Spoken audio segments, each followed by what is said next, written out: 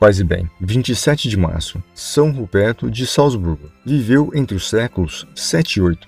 Nasceu na Alemanha por volta do ano 660. De família nobre, recebeu sua formação de cunho monástico irlandês. Se sentiu impulsionado à pregação e ao testemunho monástico e foi à Baviera. Se tornou bispo, apoiado por um conde e pediu a ele um terreno perto do rio Salzach, próximo à antiga cidade de Juvavo, hoje Salzburgo. O mosteiro que ali construiu, dedicado a São Pedro, é o mais antigo da Áustria, e Bispo Ruperto foi o primeiro abade. Construiu também, próximo dali, o mosteiro feminino de Nomberg, que foi confiado à direção da abadesa Henretrude, também futura santa e sobrinha de Bispo Ruperto. Faleceu no dia 27 de março de 718. São Ruperto é justamente reconhecido como fundador de Salzburgo, na Áustria.